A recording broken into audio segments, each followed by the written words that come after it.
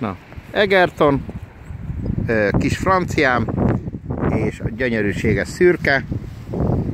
Halló.